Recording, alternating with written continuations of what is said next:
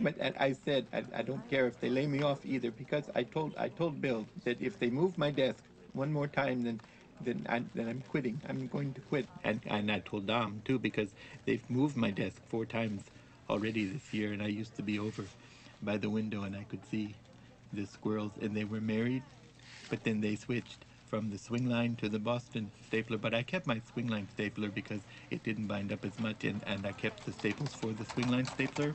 Okay, Milton. And oh no, it's not okay because if they make me, if they if they take my my stapler, then I'll, I'll, I'll have to I'll set the building on fire.